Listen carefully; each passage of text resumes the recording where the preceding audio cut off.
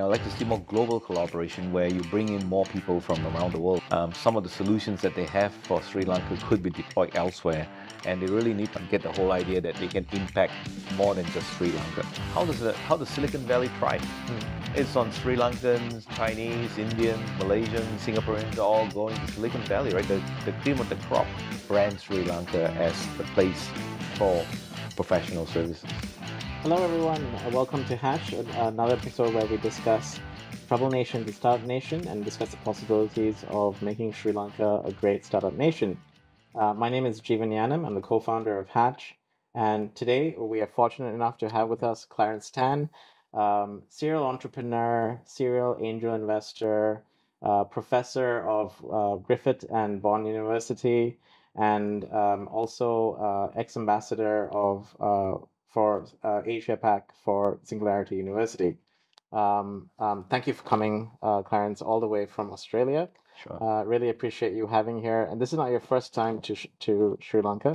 No. Is this your third time? Yes, it is my third time. Okay. And yeah. Um, and it's a pleasure to have you. Um, you. I think you've seen Sri Lanka transition over a number of years. Yes. Um, I just wanted to get your thoughts on where do you think um, how do you think Sri Lanka is progressing, and what do you think are the opportunities? Especially, I think that you've seen Hatch, uh, maybe in the startup. Uh, you know, uh, Sri Lanka is a mm. startup nation. Is that is that a possibility? And just your thoughts from an, an outside perspective. Well, as you know, when we first met in Australia many, many, many years ago, um, you know, Sri Lanka has always been uh, very, very uh, much, um, you know, in my heart and in my mind. And, you know, that's why I was thrilled to, when I first came to Sri Lanka and then uh, and then subsequently I came again as uh, a keynote speaker for the event you organized for the Asian Business Angel Network, and I was so optimistic about the opportunities and the um, amazing um, work ethics and the innovative um, uh, characteristics of the Sri Lankans. So really, the country is the people, right? And the Sri Lankans overseas, um, you know, the diaspora of Sri Lankans, like the Chinese and you know all over the, all over the world, um, has really created um, fantastic ecosystem and professionalism. Um, and I thought, you know, the whole country has have got the people, and, and, and that's why I was very keen to look at potential um, investments and and, and and and working on this um, uh, project uh, over here. Um, so yeah, it's sad for me now to come here and, and see, you know, a lot of a lot of the things that were progressing has kind of got stalled. Um, and and you know I think there seems to be more people um, facing hardship. But coming to Hatch today, I mean that seems to be like the um, beacon of light that is shining in this dark um, despair, because you guys have done amazing from the from the time when um, you you guys shared with me your idea, and it was just a very very early days of Hatch.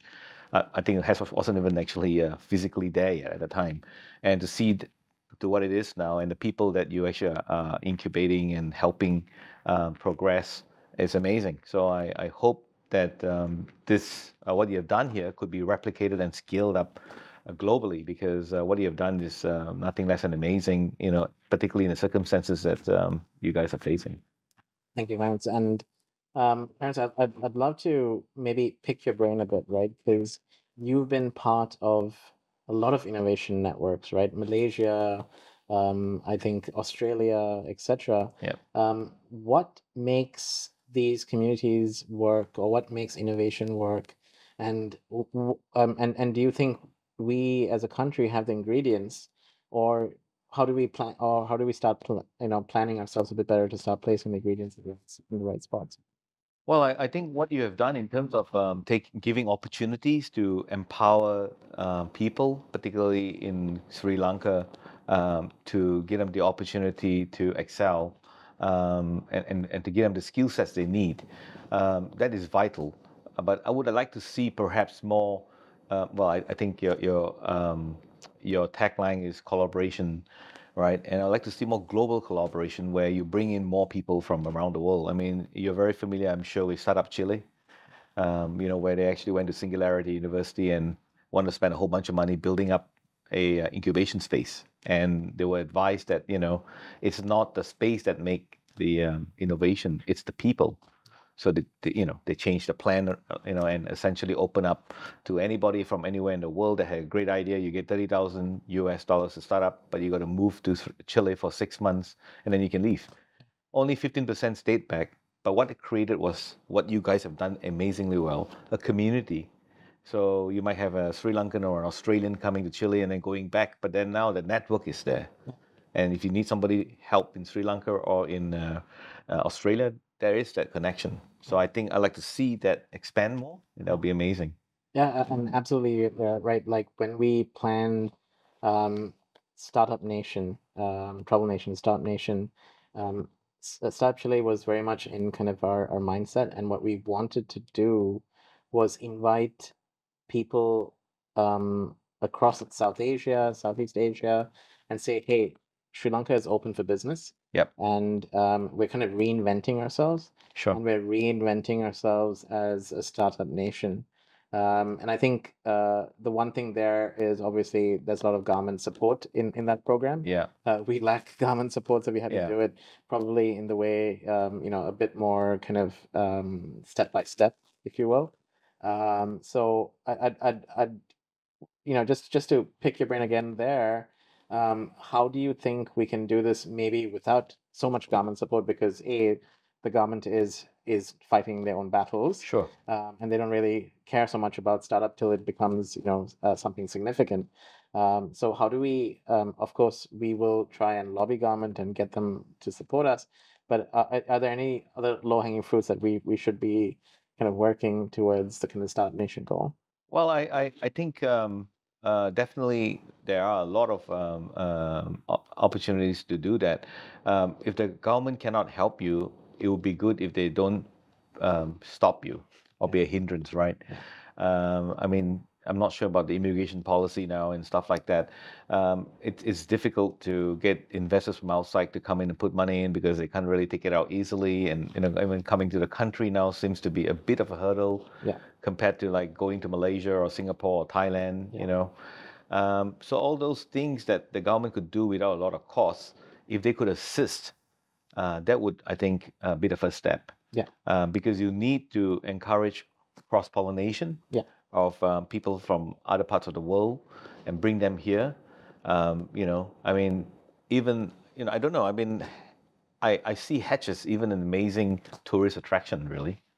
Um, for, for Sri Lanka, it's not just the beaches and the tea trails and the uh, you know and the safari park and all that. You know, it's it's really what you guys have done here. It, it's um, it- showcasing it. You know, I, I think that's um, It's actually funny that you said that because uh, there's a tour that um, um, when the cruise liners come, there's a tour that actually comes into the building and showcases Hatch, all right.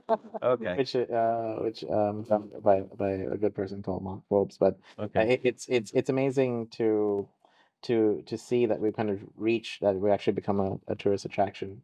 Um, but but uh, let me ask you this: I think um, you uh, also represented Singularity University about and and impacting a billion lives. Yeah. Um, um, tell us a bit more about that journey and and maybe advice for uh, people listening on, into the show Sure. um, and encouraging, I guess, them to take that same kind of uh, leap and, and, and how do they Yeah. So entrepreneurship with a purpose, if you will. Right, right. Yeah, so so when um, uh, when I first went to Singularity University as a student of the graduate studies program way back in 2011 at NASA, um, you know, I was fresh from the startup world and the uh, angel investing world, but uh, really had no idea about the doing good part of things. And you know, because you know my background was, you know, I was an investment banker in Wall Street when greed was good. Uh, I left that to go to academia because I just felt I wasn't doing anything really useful for the world. I was basically, if you like it, gambling the bank's money, right? Putting some of my pocket in the bank's pocket, and it's a zero sum game, as, you, as we all know. Um, so I left that and went to academia. And although my domain knowledge was in finance, so I wrote a book on artificial neural network applications in finance all those many, many years ago. Um, but my students were able to take my ideas of this is like we're talking about maybe 20, 20 over years ago um, you know took my ideas of applying neural networks uh, in finance to some uh, one of them was from juilliard school of music to finish the you know unfinished symphonies of uh, composers and stuff like that which was very very novel at the time. Obviously now with ai the way it is right now things these are becoming more of, an, more of the norm. Um, but going there, you know, being with 35, uh, with, with, with 80 other people from 35 countries, you see all the different problems that they have and the solutions that came out of Silicon Valley that we could use to try and solve those problems. Well, what we found out was that at the end of the day, you know, we can't sit in a lab and try and think of all these solutions and then try to deploy it in Africa or India or wherever and it fails, right? Because you don't have those people, which is why Singularity insists that they want to bring people from those countries into Silicon Valley and inoculate them with the knowledge and the skill sets and the exposure to all the tech out there and let them try to solve the problems uh, and domain in their home country. So I think, you know, um, on that aspect, I think that's that's why you know most of the companies I've met at Hatch are trying to solve uh, problems, you know, in Sri Lanka. Uh, so I like to see them actually expand out their horizon more. Um, some of the solutions that they have for Sri Lanka could be deployed elsewhere, and they really need to look to have a more global view and and get the uh, uh you know uh, get the whole idea that they can impact more than just Sri Lanka. Yeah, absolutely. So we always tell startups that join us, you know, don't look at another Me Too idea. We have a lot of people trying to be, say, the Airbnb of Galle or you know, some part of Sri Lanka. And we're like, look, uh, Airbnb was already invented. Go Right. do something else and try and solve a problem that is in our backyard and try and take that solution global. right? Definitely. And I and I think you know um, Sri Lanka is rich with problems, which is great fertilizer for on entrepreneurship.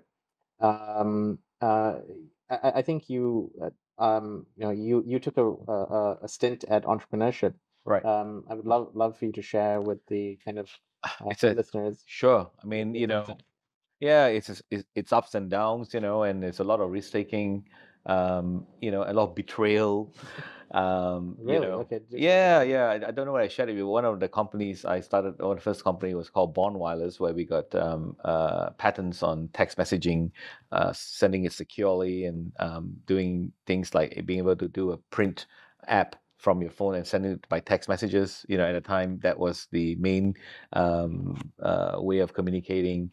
Um, and one of uh, one of the law graduate of Bond University wanted to be a distributor partner in Malaysia.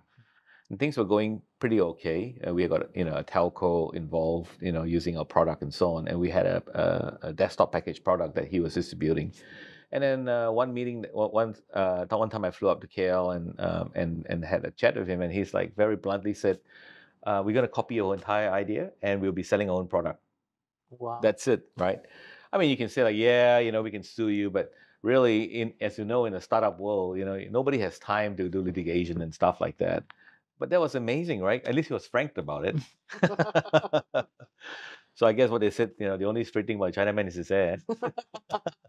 I can say that since I'm Sure. right. Um, yeah. So so so you, you you basically roll with the punches, right? I mean, you know, might be karma, right? Uh, who knows, right? But the thing is that you got to pick yourself up Yeah. and continue doing other stuff, um, and and essentially uh, move on. Um, you know, um, there are there are companies out there, you know, that basically um, uh, kind of use what I eh, what I term as um, like almost the old days of uh, getting protection money type of situation on tech. I don't know whether you guys are aware that some companies. Yeah, yeah. So there's a company in uh, in in in Washington in the state of Washington. You know, basically set up by a CTO of a very prominent uh, tech company. They buy up all the patents, and then when you when you create a startup, they send you a letter saying that you've infringed one of our you know thousands of patents.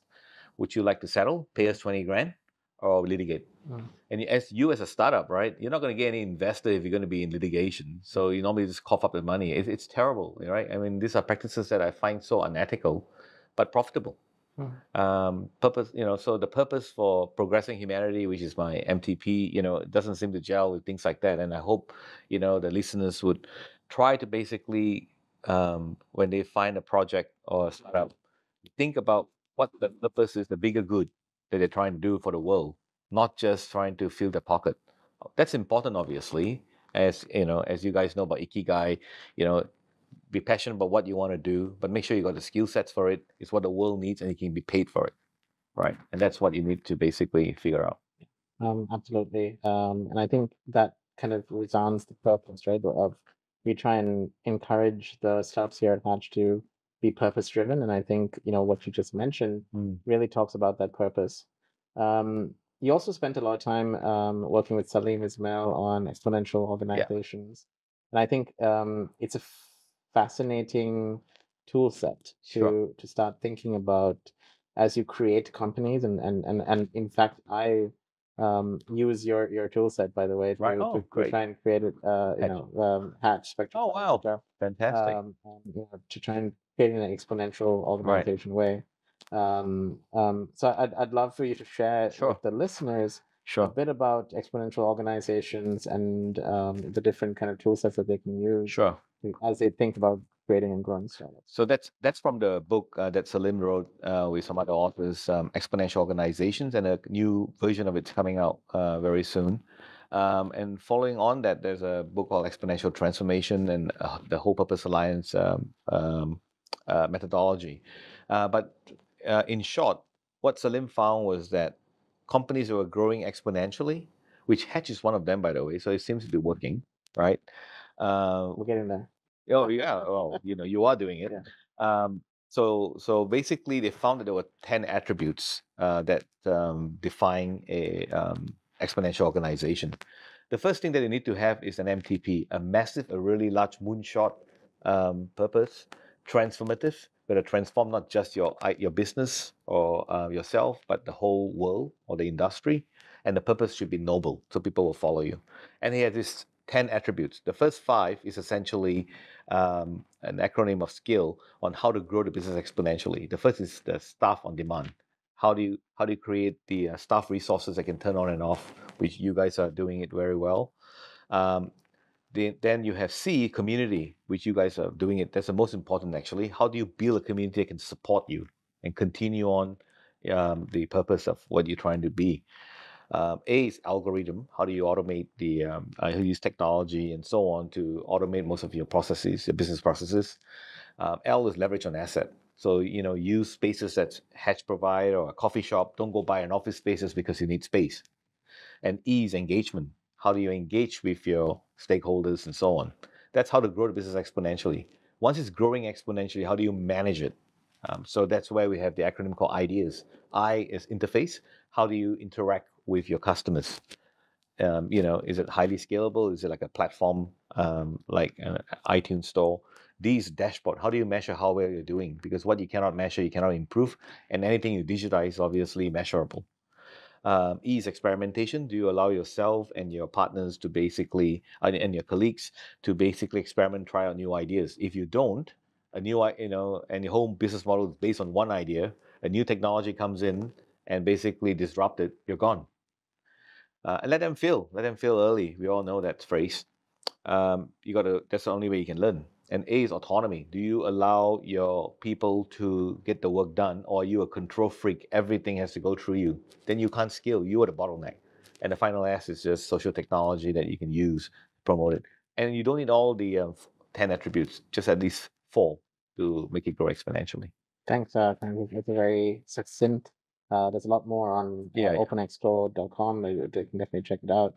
Um, um, I, I was just uh, wondering. So after that, I think you went down um, after the entrepreneurship route. You went down the angel route. Yeah. Started investing in companies, and um, I guess finding uh, is that from the need to find kind of like-minded people, and is that really what drove you to? Yeah, yeah. So so so so essentially, um, the whole you know on the other side of the table, right? Then you want to basically see like how you can uh, um, uh, basically invest in startups, and you guys all know that um, you know angel investors look like a 15 times return, and VCs want like 20 times return. It's not because they're greedy; they might be, but it's the fact of the matter is one in 15 companies actually succeed. So you need to cover up your losses, Yeah.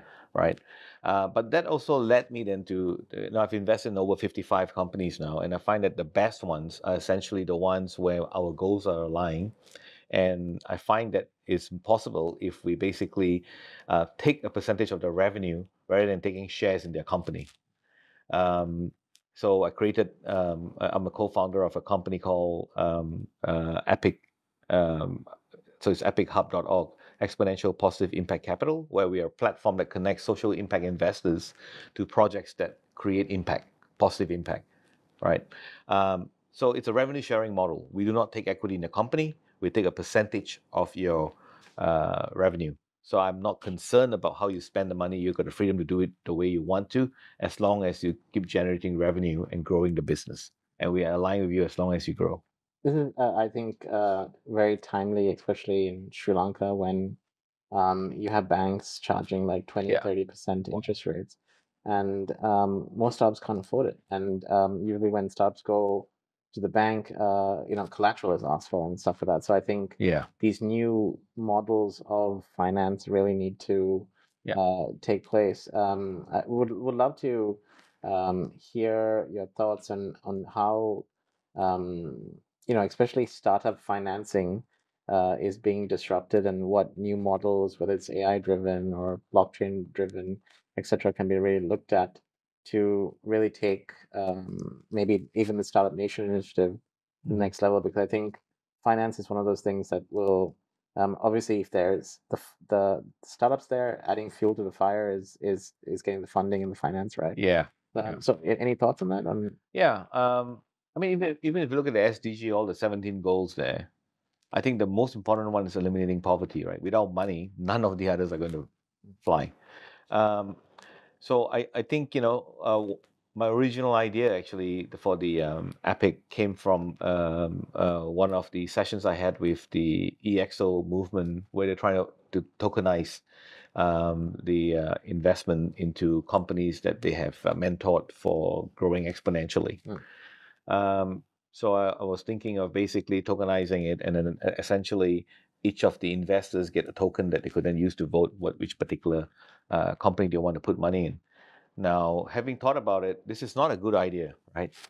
Um, and the reason why is because you want the um, successful companies, uh, you know, to be successful, and it shouldn't be a democratic process because if it is, then you are just uh, investing like herd mentality, right? You want the Warren Buffetts, you know, to basically do the investment for you, as opposed if you to put into a fund, rather than like voting for which one is the most popular, right? Um, so on the on the um, on the Epic platform, you can pick what company you want to invest in, and uh, we will take a small percentage um, of uh, of your revenue. So like you were saying, you're paying twenty percent interest. We might take five to ten percent, depending on the you know um, fro- from the revenue of the company, Yeah. which is like your GST or whatever that else you're paying. Um, and essentially, we're looking for a five times return within five years um, which is similar to the VCs because of the risks that we're taking. But the investors are minimizing their risk because they're getting the money back sooner. Yeah. While if you take equity, you might never see your money for God knows when, right? Because until the company exit or pay a dividend and so on. Um, so this is why I think this is a fairer model, and also we don't worry about valuation then. And as you know, you and I know that the valuation is just something that you know somebody put up there, and uh, there was never an agreement between the investor and the uh, and the founder of the company, Yeah. right? So this way, we don't need valuation really. We just take a percentage of your revenue, and once we hit our target, we you're free to go. So yeah, Yeah, very interesting model. I think um, um, there'll be a lot more of that, and uh, you'll definitely uh, work with the hatch startups on, on, on that model. Um, in, in terms of um, one of the things that Hatch is looking at uh, in, in you know alternative again funding mechanisms is really crowdfunding um, and seeing how we can bring it to Sri Lanka and use equity crowdfunding, debt crowdfunding, Yeah. uh, etc. Just would love to um, understand from your experience, um, has crowdfunding really worked in markets like Australia and Malaysia? And Um, um, is there opportunities for these mechanisms to to cross border, right? Um, is there a way to collaborate um, with with Malaysia, with Australia, and these other other kind of Yeah, I, I, I- think um, definitely. Um, although things are becoming more difficult now because of the AML, the anti-money laundering rules everywhere. Um, so that is a bit of a hurdle. But um, depending on uh, what you mean by crowdfunding, whether you're crowdfunding a company to fund it or you're talking about like um, them trying to sell a product, right? Australia had a fantastic success rate with uh, Flow Hive. They wanted to raise 50,000, they raised 25 million, right? It was a, basically a way to create a, a, a beehive that is friendly. Hmm. You don't destroy the hive. Um, so that, and, and um, so, so that was an amazing success story. But and, and on our own uh, with uh, another company I co-founded that's making smart, affordable wheelchairs. Um, Gogotech, Abby by Gogotech. We made a we make a smart, portable, affordable electric wheelchair, and we actually put it out in the marketplace, and we managed to um, you know garner a lot of pre-sales off it, Mhm. um, you know globally. You know, so so it's a good way to test the market and also get some funding off it. So you you know, um, but in terms of investment, um, that is particular to each um, country's law, right? So that this is that that might be a bit difficult. Yeah. And in particular with Sri Lanka, I'm not sure again how you know we can mitigate the issue of um, the investors who put money in here to be able to take it back out. Yeah. So. So Yeah. that, that that is something that we need to think about. Yeah, that's that's a question we need to um, probably uh, speak to government about, and, and which we did before. which we have.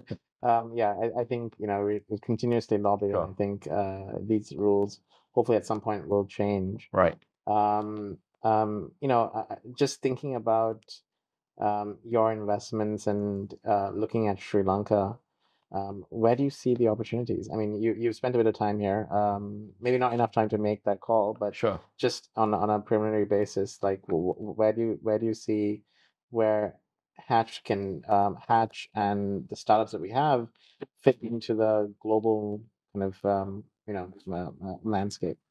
Um, I think the, the one that I'm really excited about is the uh, is the ag tech, right? The Yeah. the agricultural technology thing, um, because Sri Lanka produce some amazing products out here, like the um, cinnamon bucks that are well renowned, um, and so on, and tea, obviously. Um, so I think you know that is a. I think is is not so much the investment into some of the agricultural products, which which of course I think there are fantastic opportunities, but other countries are also doing it, right? Thailand and so on. But it's the ag tech that you're putting on that value adds Yeah. the product. Um, you know, basically in uh, ensuring the uh, quality of the product and uh, and and the sellability of it. So I think that that's a huge opportunity. And of course, you know, Sri Lanka is uh, well renowned for their service industry in terms of professionalism and um, developing software and also in uh, uh, financial practices and so on. So those are things that they can um, obviously leverage on, and those things are very portable in terms of ability to distribute across the world. Um, so I think uh, those are those are exciting, and then you know, innovation in those particular areas I think will continue to be exciting for me. Yeah, and um, just to touch that on that point that you mentioned, right? You know, is known professional services, um, and uh, I think about two weeks ago we had an entrepreneur come from uh, Silicon Valley, and he said, "Hey, uh, um, why isn't uh, Silicon Valley working uh, closer with Sri Lankan startups? Because in in a way, um, if the runways are going to be uh, reduced now Mm. um, a lot because the funding has has kind of dried up Yeah. a bit, um, and you know to extend runway in a place like Sri Lanka is very very possible. Um, is that is that something that um, is possible in markets like Australia as well, which I think typically um, value high level kind of services and, and as, as well. Are, are, are they, are they even looking at it, or is it something that that Um, I think they are, but maybe they're looking at the wrong places, right? Uh, that's that's that's the issue. And then some of them have got really bad experiences, and then they basically uh, compound the problem of trust. Um, you know, as you and I know, you know, the the, the company uh, uh, we created in Australia, the AI company that is working with um, with uh, with with with with, with uh, you guys in Sri Lanka is um, um, having a fantastic relationship, right? And it's all a matter of trust um, if I hadn't met you and knew about your services, um, you know, that company would probably never outsource their uh, services to to to to them and or, or you know create these amazing products that we have. Yeah. So I think um, you need to gain more uh, visibility and publish more about the success stories of some of these uh, companies Yeah. and, and to, to kind of uh, brand Sri Lanka as the place for professional services. Yeah, okay, absolutely. Um, and I think just to, from your experience, um, Malaysia as well had that big promise, um, build Cyberjaya, etc. Yeah, yeah, yeah. Um, um, but I think uh, Malaysia didn't really grow as fast. Uh, I, I'm I'm not sure for what reason. Um, is there a comparison you can make between kind of the Sri Lankan ecosystem and I think there's a lot of similarity, right? With a huge corruption problem. um, so, so that, kind of uh, didn't help things. Yeah. Um, and then the brain drain, right? Yeah. Uh, a lot of Malaysians cross over to Singapore and to Australia and, and elsewhere in the world. Um, and I, I think you know uh, things are slowly reversing, and uh, with new government in place and stuff like that, and Mhm. similar to Sri Lanka, hopefully you know things will improve. Yeah. Um, but I think the key again, you know, is you know everybody talk about foreign direct investment, right? I, I, I think more of like foreign foreign intellect, you know, investment. You need to bring those people to Sri Lanka. You need to bring those people to Malaysia. You know, how how, how does the how does Silicon Valley thrive? Mm. It's on Sri Lankans, Chinese, Indians, Malaysians, Singaporeans all going to Silicon Valley, right? The the cream of the crop, right? Um, so what do we have, right? Um, you know, in, in Australia, in Sri Lanka, and all that, you got great weather, you got a, you know, um, uh, friendly people, great food, right? Not in Australia, but yeah, you know, oh, yeah, don't have it yet.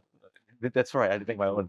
So anyway, um, uh, I I think those are the thing, the standout stuff, right? But but you need to basically enable them to first of all come to your country, experience Hatch, right? What Hatch has to offer, experience the whole innovative uh, innovation culture here, and then um, you know, and then I think things will happen. You know, if you don't bring them, nobody knows about it. Nothing's gonna happen, right? Yeah. So yeah. Thank you, Clarence. Sure. Um, thank you for taking the time. Really, Thank you. Thank you for having me. Um, and It's uh, always a pleasure seeing you. yeah, and we will have you again on this show. All right. Thank you. Thank you. Thank you. Thank you.